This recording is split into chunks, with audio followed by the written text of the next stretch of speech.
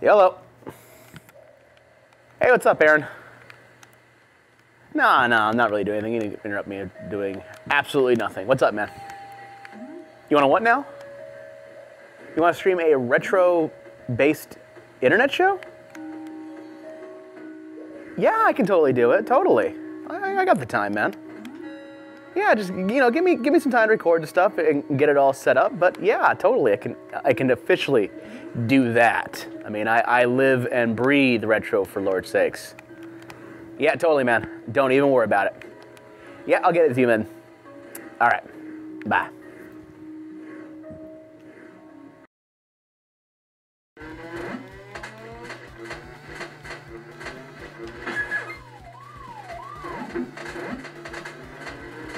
Hello. Hey, what's up, Aaron? No, yeah, totally. You want the episode by next Tuesday? Yeah, totally get you by get it done by then. Oh yeah, it's all completely done. All the footage is there. Just putting the final touches on it. That's all. It's totally ready, man. Yep, I won't be late.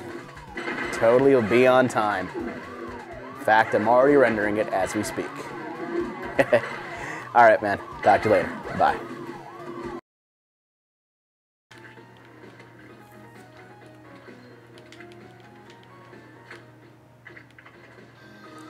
What the?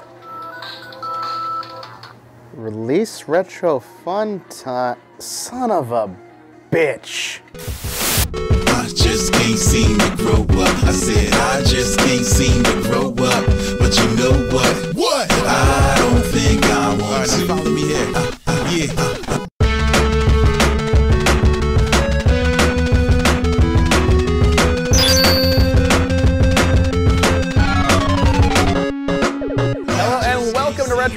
Time. I'm your host, Roberto Villegas, and welcome to episode one. Now, I know some of you guys out there happen to catch the live stream on the Indie Love channel, but guess what? We're going now produced. We're going to be recorded a bit, so that means higher quality, better sound, and of course, more games. Well, at least more games. Anyways, I am super excited. We're starting off with a bang and probably one of my favorite Nintendo series. Originally released for the Famicom Disk System in Japan, spawned numerous sequels, and quite possibly the most messed up timeline in video game history. That's right, I'm talking about The Legend of Zelda. Do do do do do do do do do do do do do. Man, who doesn't know The Legend of Zelda? Created by Shigeru Miyamoto and Takashi Tezuka, the game was released in 1986 as one of the launch titles for the Famicom Disk System, an external disk drive for the Nintendo Famicom. It follows the adventures of Link as he traverses around Hyrule gathering the pieces of the Triforce of Wisdom, all in an effort to defeat the evil Ganon, save the Princess Zelda. The game would go to sell over 6.5 million copies and spawn numerous sequels across all Nintendo platforms. All right, let's just get into this game here. Uh, look at that, the Nintendo Family Computer trademark. That's proof that we're playing a Famicom title. Look at that, the Hyrule Fantasy. Uh, copyright 1986 Nintendo, B in some Japanese. God, I'm not super excited. I don't know what that B means. We'll find out later. Um, but God, I fucking love this game. I I adore this game more than you can ever imagine. Um, I can't remember the first time I actually played The Legend of Zelda. Um, I think it would have to be when my cousin had it. Uh, when my, my cousin uh, JR happened to get a Nintendo Entertainment System when I guess he broke his leg and his mother bought it for him. Um, that'd be my aunt. Uh, and somewhere along the line, he never really gave a crap about video games in the end of it all. He just sort of played a little bit. But I would always, you know, whenever I'd go down to Texas to visit my family down there, uh, my, my aunts and uncles, I would always adore playing Zelda. Zelda is one of my favorite games. It is one of the best Nintendo games out there. And damn if Koji Kondo's soundtrack isn't awesome and, and epic. I mean, considering that, you know, granted, yes, we have an extra channel on the Famicom here, and I'll explain all that very soon. But man, even as simple as it is, it is gloriously awesome. One of my favorite games. All right, let's get into it. Hey, wait a minute. What? Hold on a second. Huh? Wait. The Start's not working. Um, oh, crap, that's right. I gotta set the, the, the, the disc side. Uh, yeah, people, forgot to tell you, we're playing the, since we're playing the Famicom Disk System game, you actually have to flip the disc over. Uh, and so it kind of makes it weird sort of thing. Um, and keep in mind, the you know Famicom Disk System is uh, magnetic media. It's this little disc thing, and we'll we'll explain that in a future episode, but not today. Today we're just gonna kind of ex- explore stuff, um, mainly because there's a lot of there's, there's a lot to talk about when it comes to the, the Famicom Disk System, and and that that almost deserves its own episode. There we go. Um, man, I forgot how long load times are in this game. Now, some of you veterans out there of the classic game are probably wondering why are there load times on this game right now? Uh, like I said, it's magnetic media, uh, so it doesn't load as fast as a cart. It's kind of weird and strange, but um, you know that's that's the curse of being on um, on a, on a magnetic media. Uh, the benefit of it, of course, was because the fact that, that ROM's really expensive. This is back, remember, keep in mind, it's 1986, and even though it's Japan, memory is still pretty pricey back then. I mean, compared to now, uh, I mean, you know, at that point, you know, I think what, I don't even know how much a disc would have had, how much space a disc would have.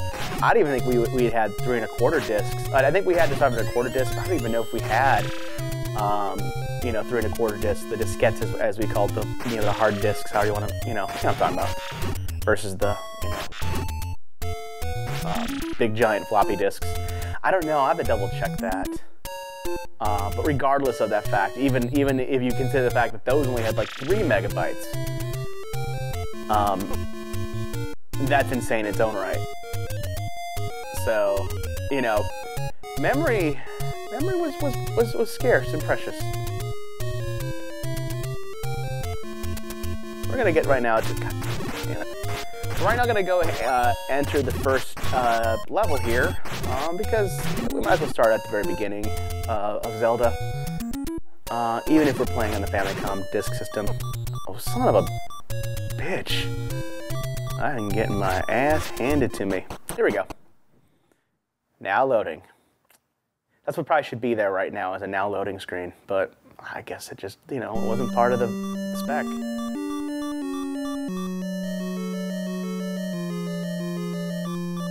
So I can see why Nintendo would port it uh, to a cartridge um, here in the United States. Not just simply for the fact of, um, of, of, technical reasons, which uh, we'll get into. Um, mainly the big technical difference between the Nintendo and the Famicom. Even though they're both the exact same hardware, there, there's enough. There's certain limitations that were enough, uh, or enough differences that rendered this uh, I don't think American audiences, son of a bitch, there you go, first death. I don't think American audiences would have stood for the uh, disc loading time at all, uh, no matter how um, how fast it is. I don't think they would have stood for it at all. So, but I gotta say, I like the fact that the sound sounds way more awesome. Uh, I like the fact that. Um, we get a almost a cooler sound on like all the things that happen from the death to like all the I, I, love I love the sound. I, I, dig it enough I dig it enough more than, than I should probably. So you know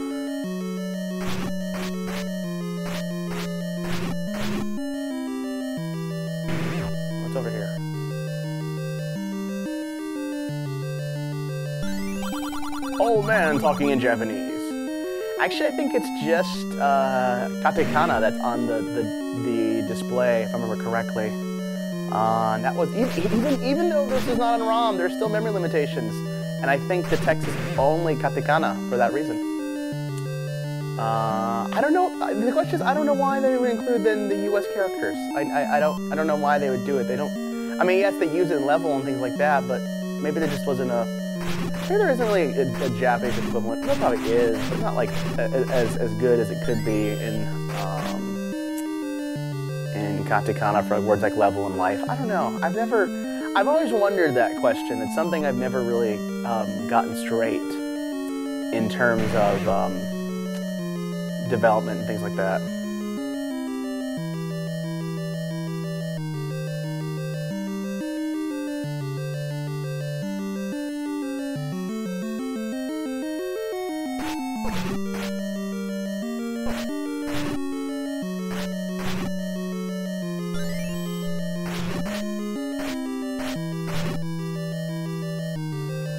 We're just gonna get the first bow here and kind of call it.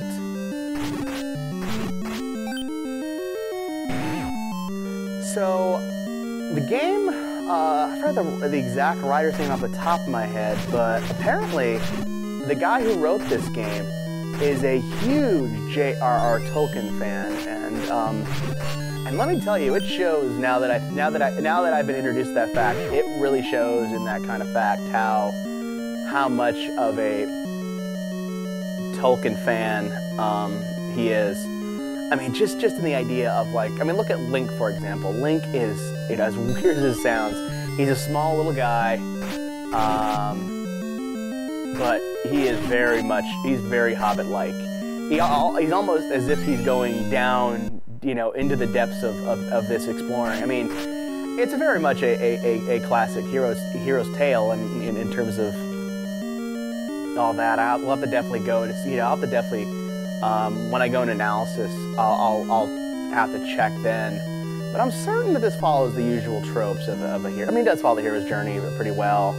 Um, you know, man, I mean, it's an adventure. Um, and I mean, originally, apparently, Miyamoto, when he was designing the game, had stated that um, he made the character young so that way it sort of, you know, the player the player could, could oh, God damn it, could associate with him, uh, that being Link here, and, and sort of, um, you know, go through the coming of age, um, you know, from like little boy to, you know, hero and things like that. And man, I gotta say, I, I love that, that, that I love that sort of story. I, like I said, I, I think this game is, is fantastic, uh, no matter what um, version you're playing. And we will we will look at the US version in a bit after this, uh, if we're done getting this level done here. Um, because man, is it just as fun. Um, but we're playing the Family Guy just because I figured we should look back at the source of the game and, and, and kind of learn the differences between the two. I mean, they're very similar, but there's certain interesting technical uh, issues uh, that, once again, you just, they had to change just to, because the fact that the um, Famicom and the Nintendo are just that different. Um, and, and it's, it's really silly things. It's things like the fact that um, there's a microphone on the on the get out of here, leave me alone. I want the key. There it is. No, no, you're not gonna eat me. Uh, it's a fact of matter that the Famicom has uh, on, the, on its second controller port has a wired microphone. There we go. Uh, and, you know, things like Pols voice, this enemy that you, you apparently could silence with a microphone. Um, and it was totally, totally different.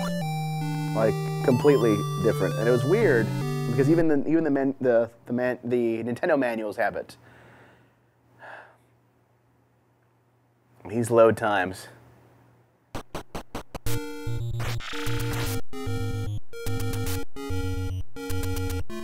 All right.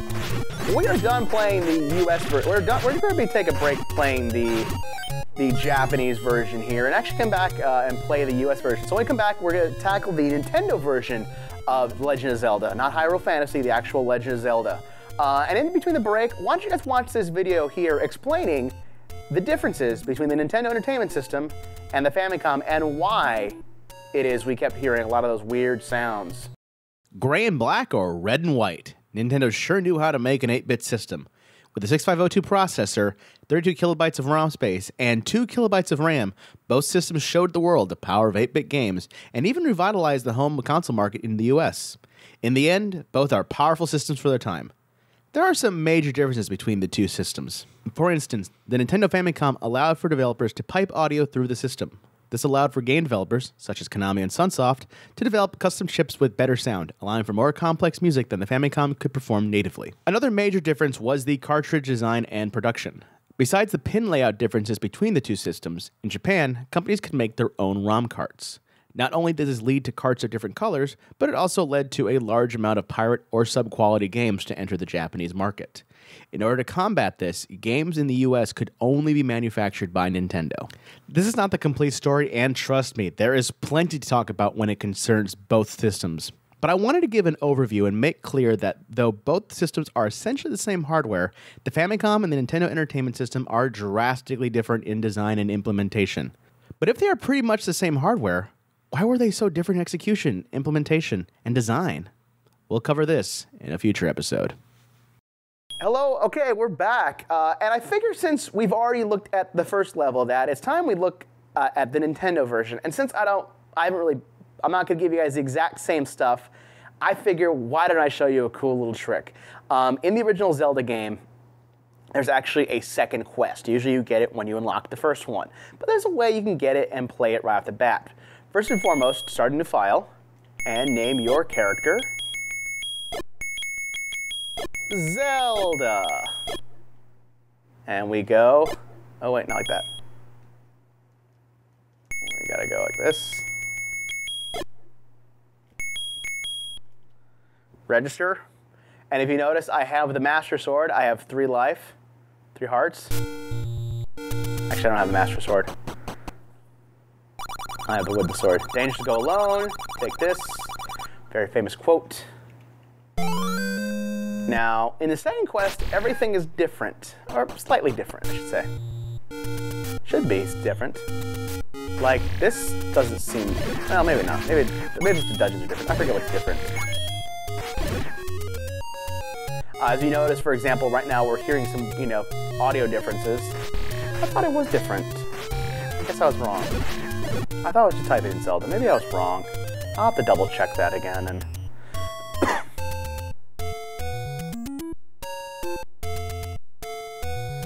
As you can see, a lot of this is very similar to the Famicom Disk System version, except everything loads a little bit faster. Uh, that is, of course, because we are not on magnetic media right now. We're actually on a ROM. Um, and because of that, uh, the cartridge loads faster. It's just, you know, it's, it's a fact of matter that you're not reading off of magnetic media, you're kind of loading in, in time, things like that. So, you know, it makes some sense. So let's go to the cat, let's go to the dungeon here. Oh, look at this, it is different. Uh, we are playing the second quest officially, so all the dungeons are different, that's right. So you notice, there used to be a wall there. So let's, um, let's explore this second quest.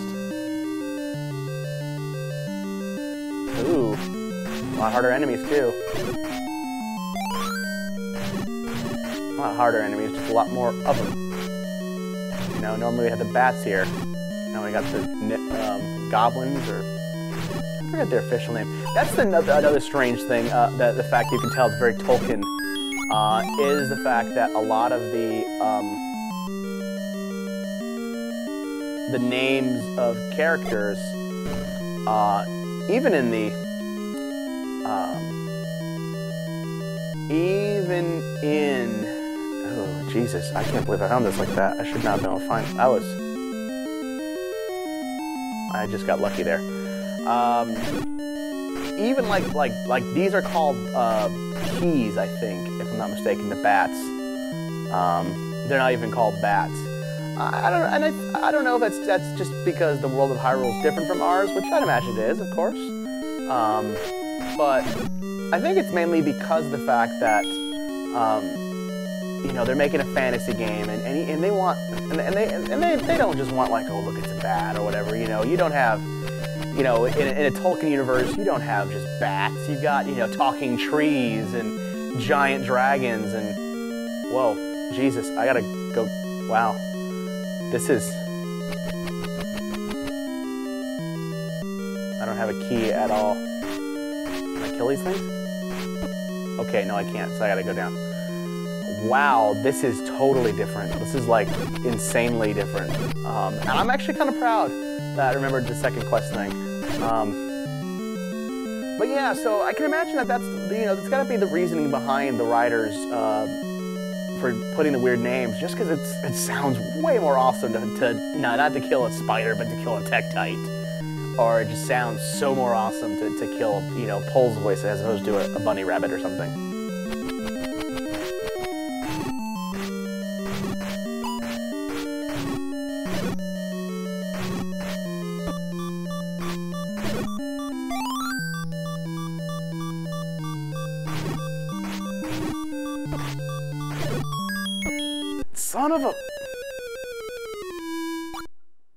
Now notice the death. Now notice the death. That actually was um, that came through through a different channel. I didn't even bother. I mean, they didn't come through a different channel. It, it wasn't. It wasn't like our synth sound. Uh, and as our break mentioned, uh, that's because the fact that Famicom has uh, the ability to route channels. Now, for those who are very intrepid and want to actually and happen to get themselves a Famicom disk system for some reason, um, God damn it, there is a way to actually get the Nintendo to do it. I was actually reading recently on this hack that essentially lets you route the sound. Uh, it requires you to actually get, of course, a 72 pin to 60 pin converter. Uh, you probably have one if you are playing Famicom games on your Nintendo.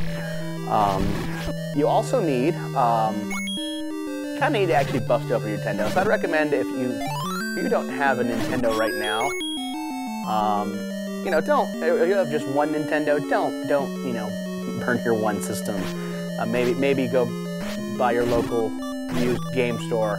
Or if you want to support one of my favorite businesses, you can go, of course, to GameOverGames.com. That is not a sponsorship. They're not paying for this, sadly. Uh, but maybe I should talk with them. Any case, uh, once you have done that, apparently you can just, uh, you know, kind of jerry, uh, like set up some wires and do some fun things. Um, I'm really, I realize I'm just, I'm, I'm only like roughly talking about this thing because um, it's it's actually a very hard hack. It, it actually is not it's not that easy. It's not like an easy mod. It actually requires a lot of um, it requires some soldering. So we're gonna try to beat level one on second quest. If we don't, then we've at least uh, tackled it before, and I, I feel, I'd feel good. I bet you there's some there's some stuff right here. Bet you there's something hidden. Maybe not. When all else fails, bomb every wall. That's that's the Zelda rule. Bomb everything you can. Why? Because.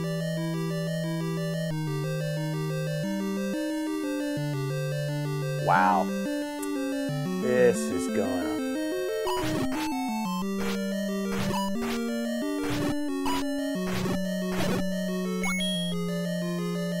This guy.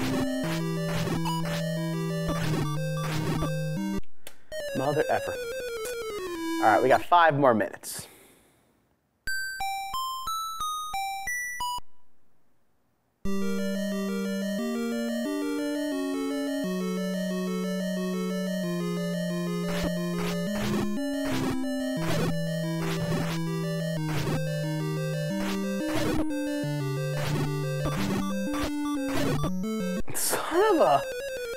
Okay, second quest is really hard.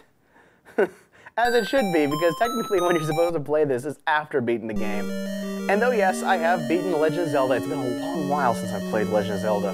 Uh, it's still a great game, I just haven't played this one in a while from, from, from now, so, you know, sue me.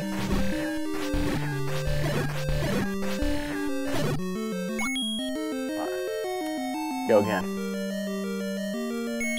Break time's over.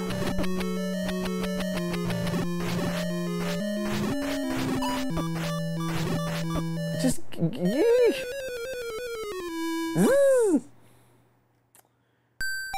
Yes, that is my Ruby Rhod impression.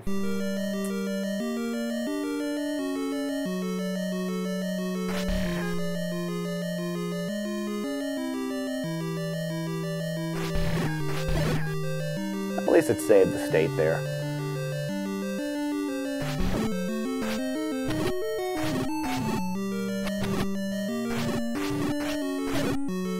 One.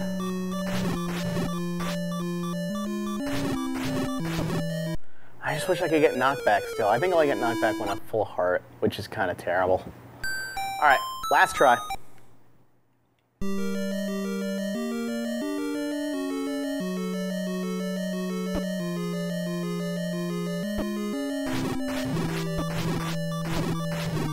All right, we'll try one more time. That was that was a new. That was a that was a false. That was just me being terrible. Um, well, let's actually let's go down that other pathway since let's let's. Arr, I want that map though. There we go.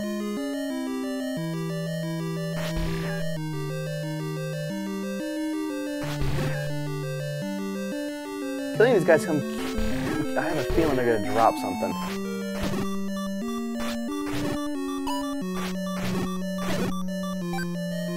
Dropped a heart.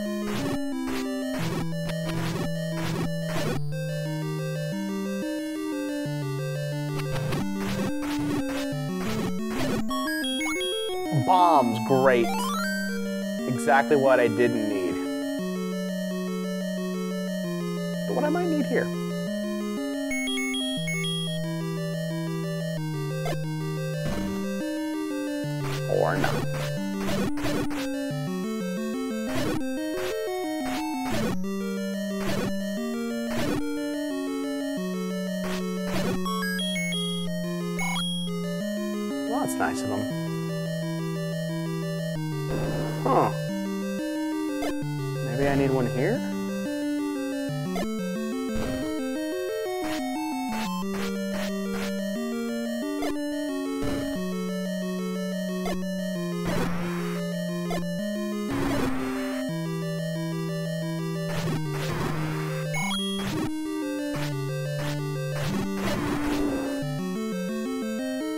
Right, so that was fun. Let's go down this pipeline, aka door. Oh no, no, not you.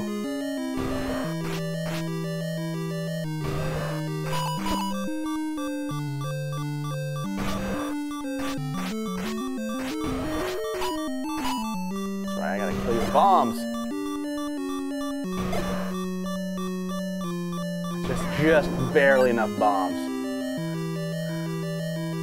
Mother. Huss bucket.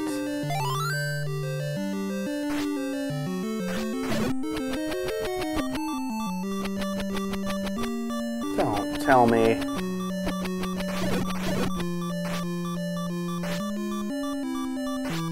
Come on. Bat, fly down. Uh, Key. Come on, Key. Key, get down here. There you go. That is an E shape, by the way. I'm starting. I'm seeing that right now. Uh, it just occurred to me I don't have a key anymore, and I can't go any more forward. And I know if I go over there, I need a key to get in. Maybe there's a key over here. No, just at that area. Huh. Well, that's good. Maybe these guys will still give a key. We're gonna find. All right, we're gonna go a little extended. We're gonna try one more time. We're, we're gonna try one more time. 'Cause we're gonna beat this one. I think we got it in the bag. Be a long first episode. How about that?